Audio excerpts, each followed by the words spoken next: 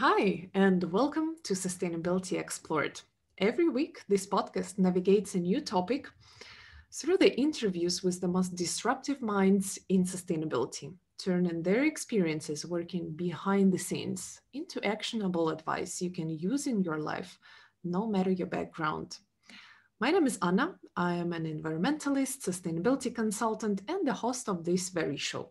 We continue our season seven with a, with a super exciting and interesting, hopefully so, interview on climate positive bamboo building. And today with us, uh, we have Troy Carter, co-founder of RIZOME. In one second, we will welcome Troy and start this exciting journey with him. Troy, I'm super happy to welcome you at Sustainability Explored. Thank you so much for being on the show, for showing up, for being uh, ready to share your knowledge in uh, sustainability, in building materials, in your uh, topic. But first, I wanted to ask you how did you find your way into sustainability? Hmm. Yeah, first, thanks for having me. I mean, I think like you know, I'm what I'm 31. I think most people in this generation, younger, older, but I, pretty much everyone now is getting the sense that what ecology is important.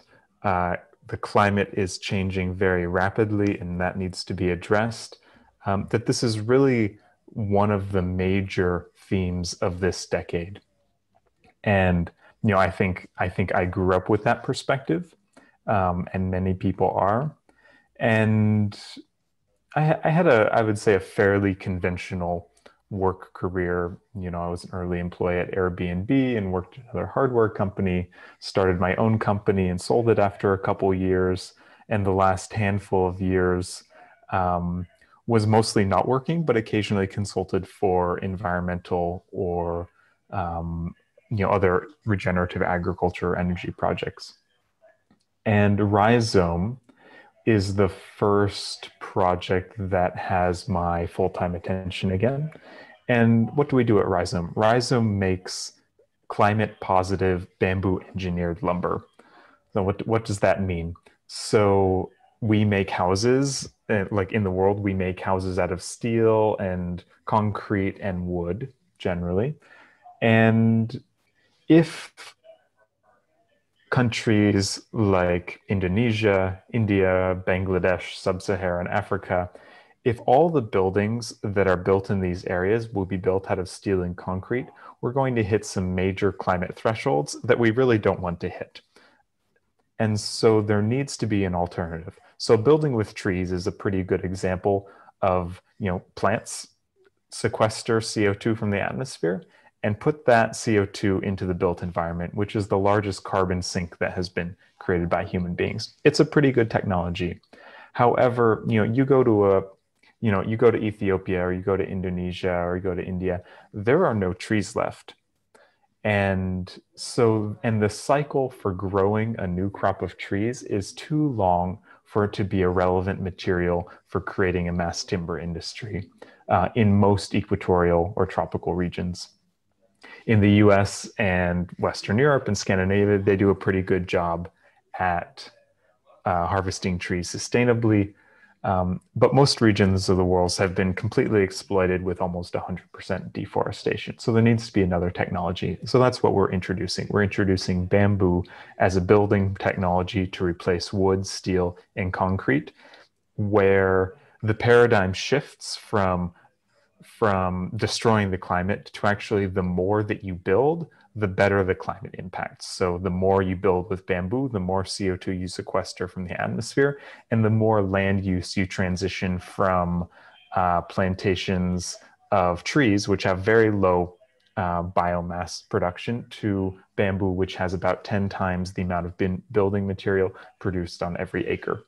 So that's that's the business that I'm running right now. And how did I get into it? One, I would say, um, I mean, I didn't, I didn't come at this with an architectural or building materials or lumber industry background whatsoever.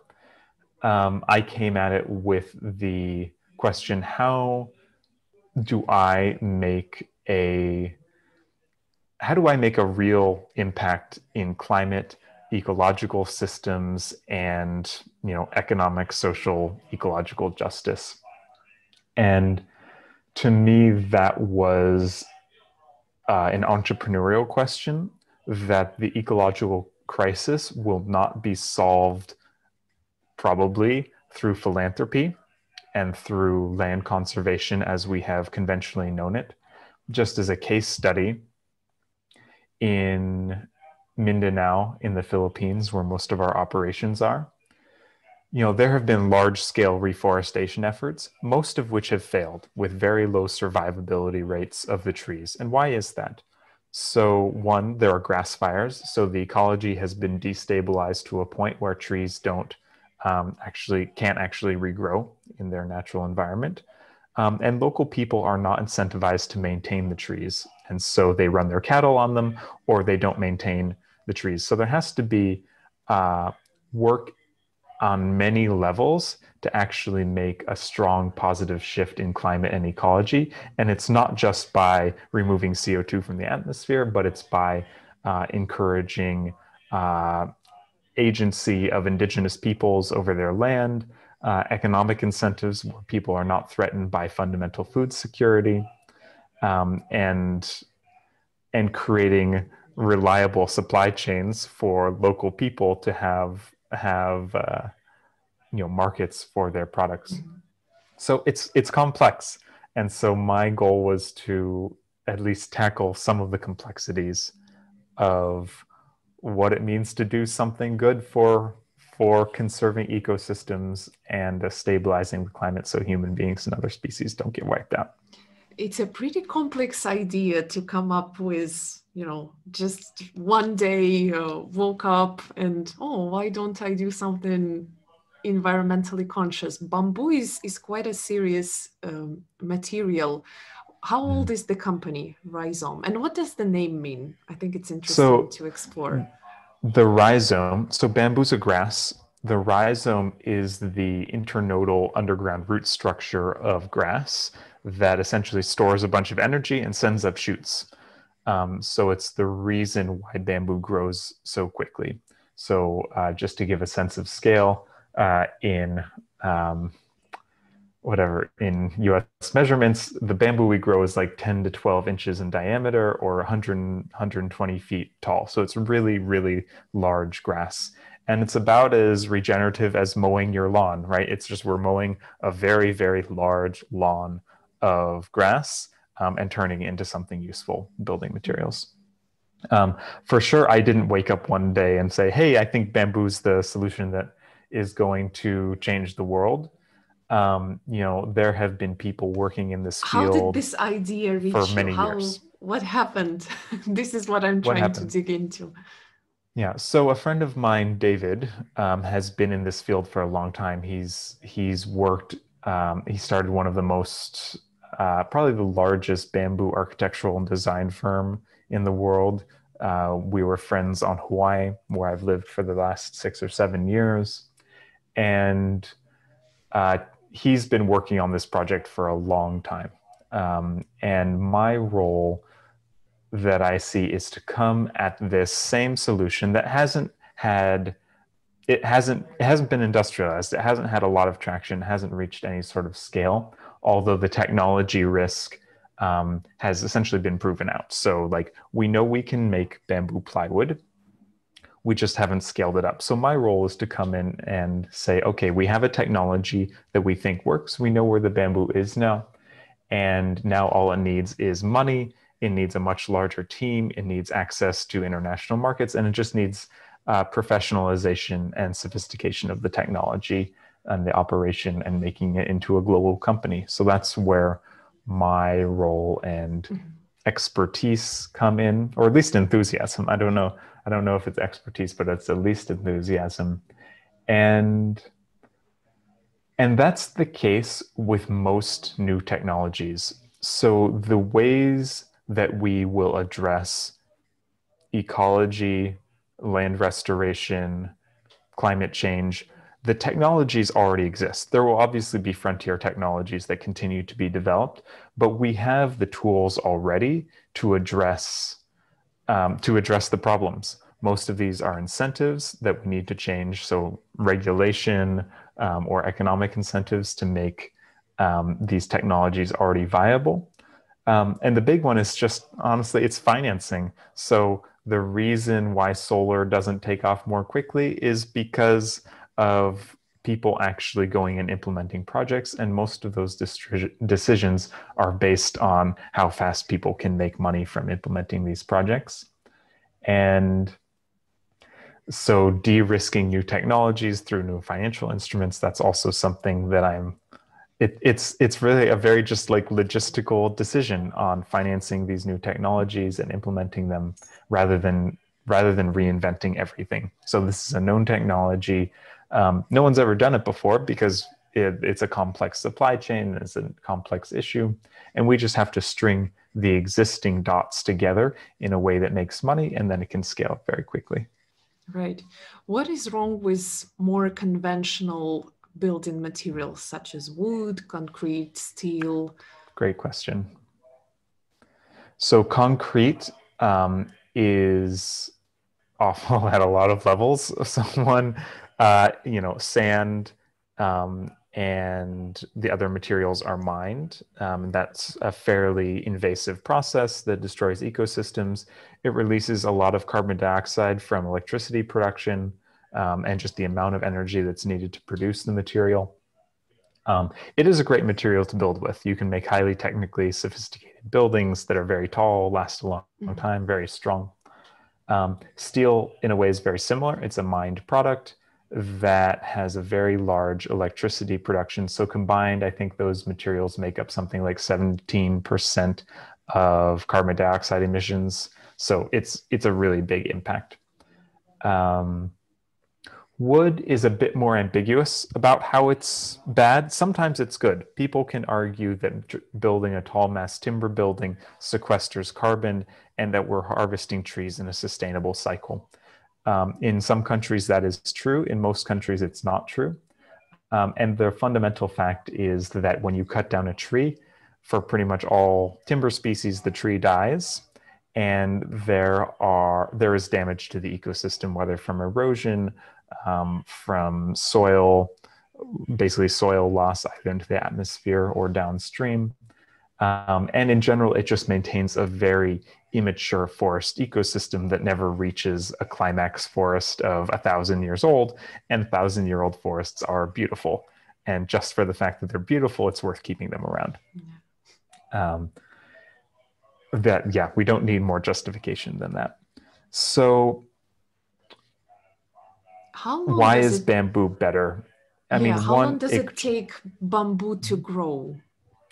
It takes about seven years to reach maturity for harvest um, from planting, and then you can harvest about a third of the bamboo every year. So you say you have a hundred acre parcel of bamboo, you can harvest uh, all 100 acres, but then you harvest a third of each clump. So it's a very regenerative material. The soil's never disturbed.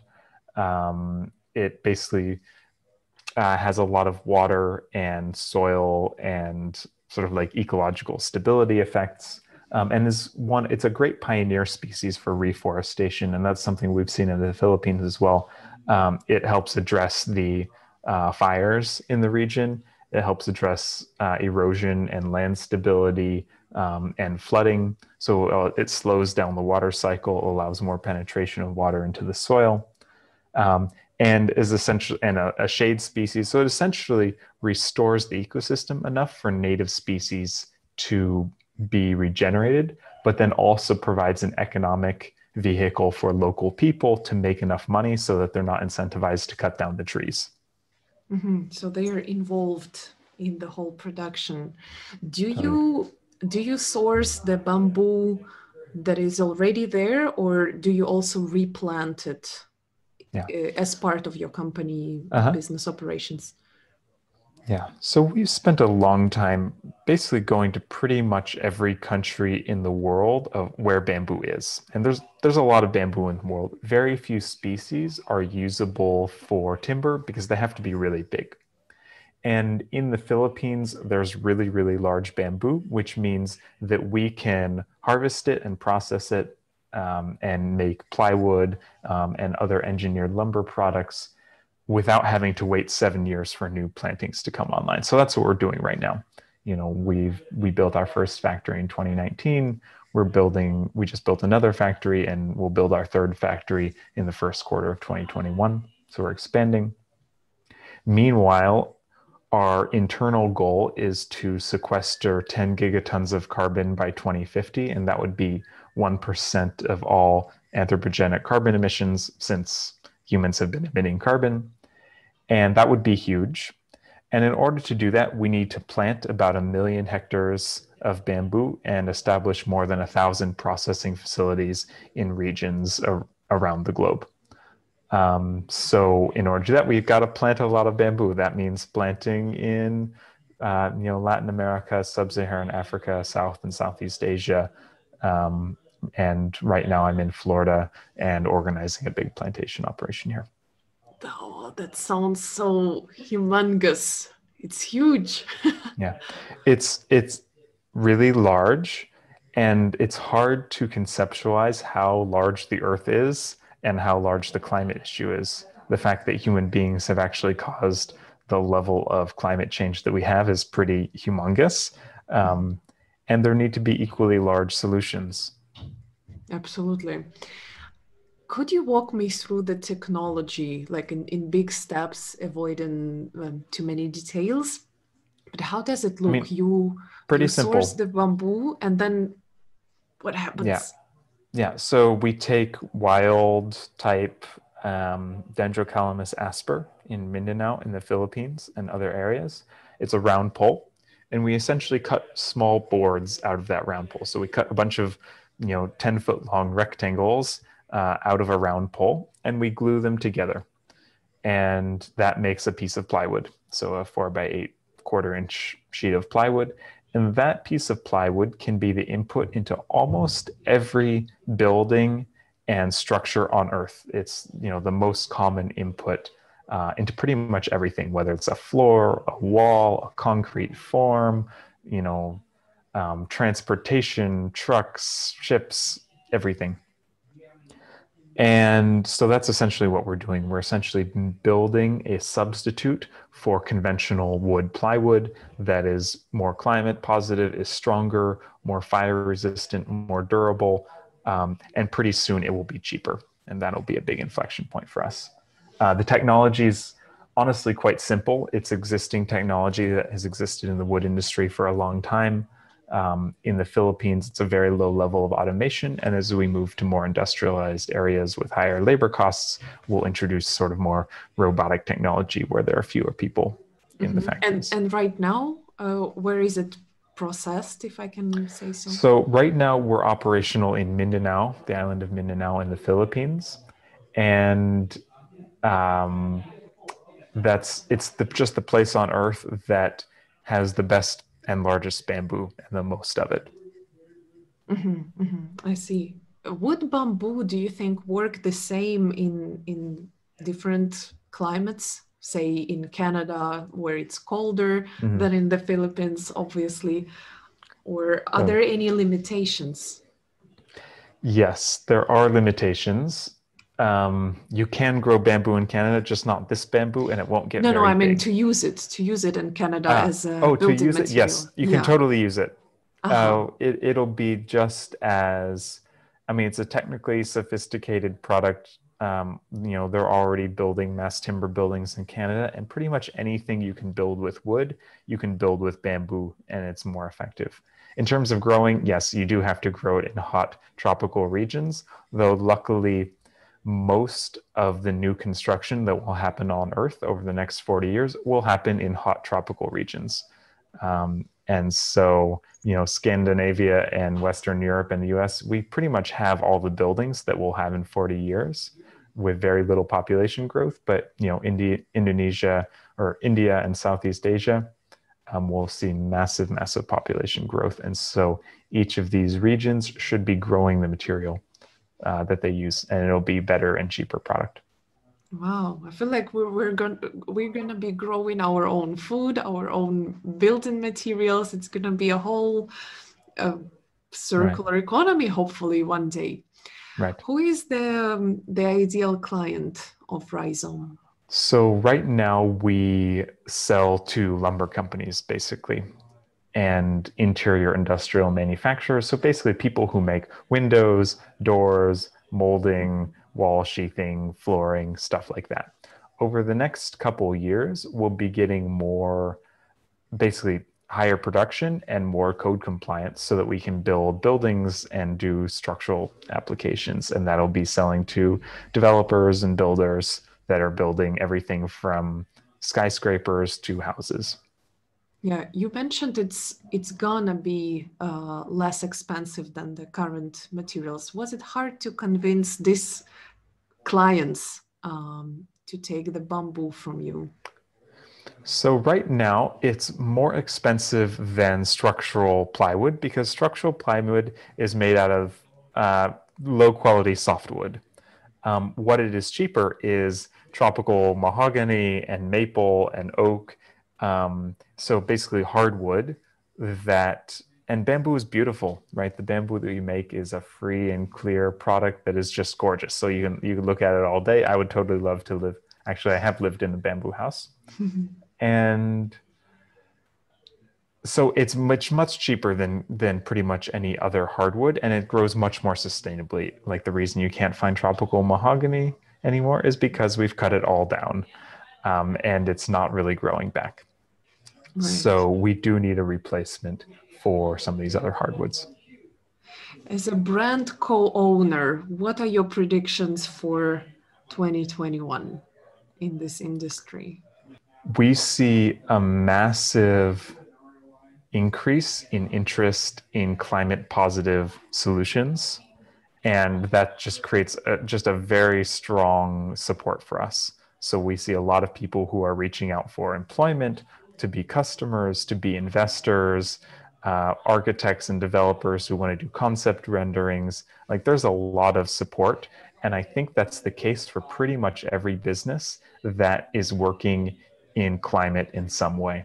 That there's such a massive recognition of the need for large scale climate intervention and ecological restoration that if one of your listeners wants to start a business in climate or ecological restoration, I say go for it. You will be massively supported and you will get to work with people who are equally passionate and interested in this field. And if you're working in a business that is not involved in climate or sort of like actively involved in climate destroying activities, um, there's there are actually very effective ways to transition your business into ways that are actually in harmony with nature. So so it's you know it is the theme of our decade where we are addressing this issue and we have to address it. Absolutely. I wanted to ask you out of curiosity the government somehow helps the businesses like yours or it's all like you're doing it on your own i don't know some question. some cities um, you know i would say that we haven't we haven't been directly supported by government in any significant way through grants or anything like that. Um, you know, I would say government stability is nice uh, so that you can plan for the future, and broadly, regulatory intervention will be essential in accelerating climate intervention to the level that is needed. And that means a price on carbon, whether it's a carbon tax or cap and trade system or uh, a more sophisticated and well priced market for carbon credits or carbon removal credits, where CO2 is physically removed from the atmosphere and put into the ground, into biomass or the built environment. Those are totally essential.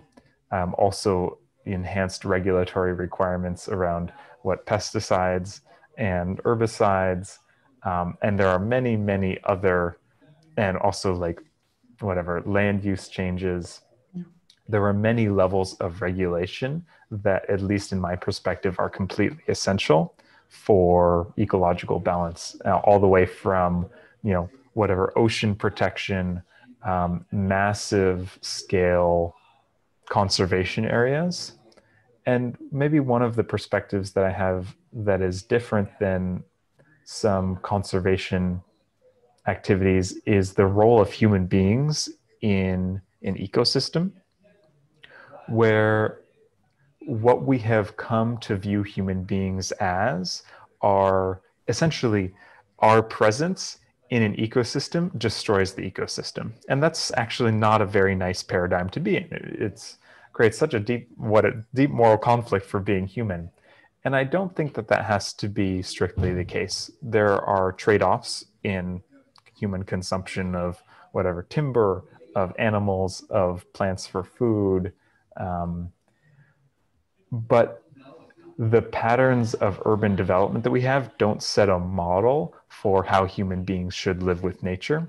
And I do think that there is a model for human stewardship of large uh, forested and natural areas that is actually more protected than human beings simply removing themselves. One, we have impacted ecology to such an extent in many areas that it needs support to regenerate. Um, and the other is if there is a group of people living on land that deeply loves and cares for that land, they are going to support uh, whatever. They, they're going to protect that land over very long time scales where, you know, if you go to uh, a more remote part of the world where there are no people, it's very easy for a logging company or an agricultural company to come in and say, hey, we're just going to cut down the trees. It's a one time deal, but then you're left without an old growth forest. And there were no people to see that. And so I do believe that the role of human beings to actively steward and protect land where they are is an essential role of conservation. We don't need to just remove uh, human beings from conserved lands. Takes a big shift in mentality and then behavior mm-hmm. because it's not up to one person, it's up to many people at the same time. Yeah. What do you find most challenging in your work? It's a good question. I mean, there there are many levels of challenge. Um, depends how it depends how honest I, I am on the podcast.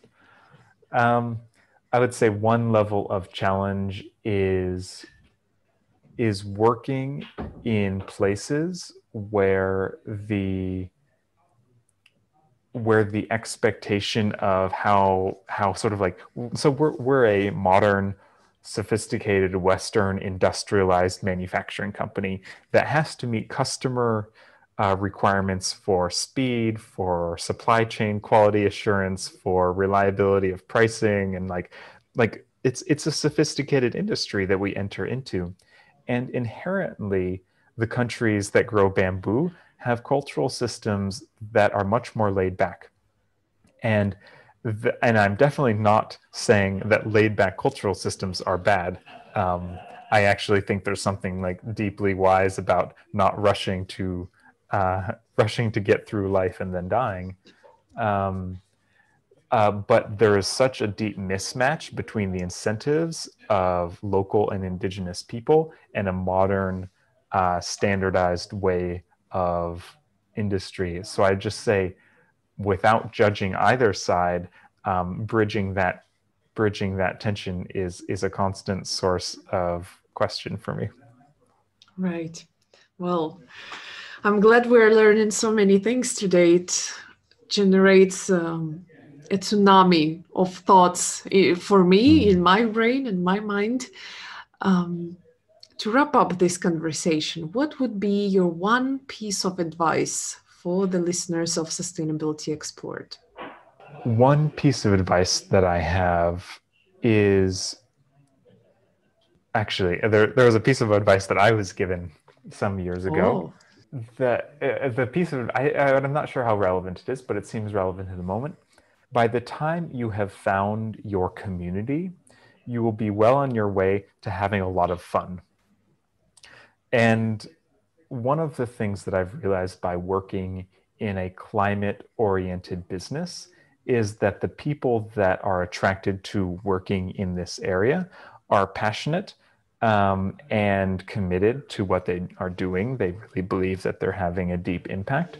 Um, but there's also a sense of love and care and fun in it that is just as important as the climate impact, because there are there are multiple levels upon which human beings evolve, and uh, a friend of mine has this theory of change. So you can give a man a fish and he eats for a day. You can, uh, you know, you can teach a man how to fish, and you know that's also you know can be fairly effective. The level of empowerment, and then there's a systemic level of asking the question: Oh, maybe like why does this fisherman have to work so hard? Because there's ecological degradation. There's not so many fish in the ocean. That's a big problem. So just looking at things at a more systemic level and then there's a narrative level where it's the question of what does it mean to be a human being on earth? And what is a sense of self that evokes a certain set of incentives that then causes an ecological crisis on earth that then causes these guys to not have any fish in the ocean that they want to eat. And that working on issues like climate can be ways of addressing each of these levels um, at the same time, that they're non exclusive and that they're essential. So, to actually run a business with integrity, uh, inherently, we are also working on the narrative level because we recognize so, why do we save the forests? You know, earlier I said that actually just the beauty of a thousand year old forest is enough incentive of itself to not cut them down rather than something about the economic value of the forest or the fact that it's providing ecosystem services for biodiversity. We can have a lot of keywords about why it's important, mm-hmm. but fundamentally, it's just because we really love forests. And that's a natural characteristic of being alive. And that that's enough. And by working in this area, it evokes that sense of love for nature. And that can be a deep common ground across across pretty much any belief system or political spectrum or any other dividing line that we have created. And uh, and it's fun then because you bring people together, they relate, they save something or enjoy something that they love. And so it's inherently an adventure and fun. Wow. I love these words and I love your pure philosophical attitude that is mm. so resonating with me so much. Thank you so much for this interview, for taking the time to share with me and the listeners uh, the, your story and the story of RIZOME and climate positive bamboo building material. Thank you so much, Troy. All the best of luck for the development of the business and in the upcoming years, 2021 and onwards. Cool. Thank you so much. Really appreciate the time. Thank you. Ciao, ciao. Thank you so much for being with us today. This was a very mindful, philosophical, and interesting. I found it very peaceful, this interview with Troy. Um, I appreciate you taking the time to listen to our conversation today. I hope you found something interesting for yourself, inspiring, enlightening, probably, um, and you got inspired to take some action today for your life and for the world around you.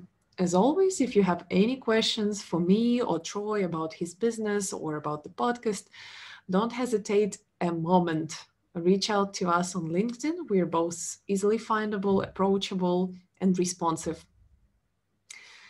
Again, if you like the podcast uh, or you loved this episode in particular, please share on your social media accounts with anyone who might find it uh, useful and interesting. Like and leave us a review if you can on iTunes or Podchaser page. I reply all my Podchaser comments in person, and it always makes me very, very happy. um, yeah, finally reach out to me on LinkedIn, challenge me with your questions, suggest guests or topics you'd like me to cover in the future. This was Sustainability Explored, Season 7, and me, your host, Anna Chashchyna. Thank you again for listening, for being with us today, and until next time, next Thursday. Take care, stay sustainable. Bye bye.